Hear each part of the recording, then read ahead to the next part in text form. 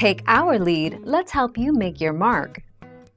Our goal is your satisfaction. Let us show you the way.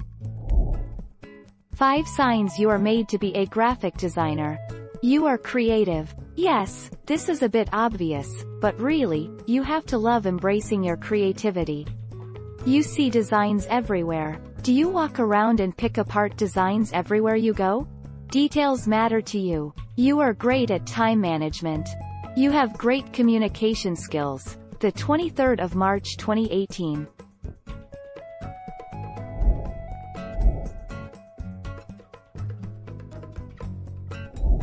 Let's help you make your mark. Graphic design may not require professional drawing skills or a fine art background, but UX designer Isaac Hamelberger says simple sketching can get the job done. Essentially, all a designer needs to know is how to sketch out basic design content. The 4th of January 2017.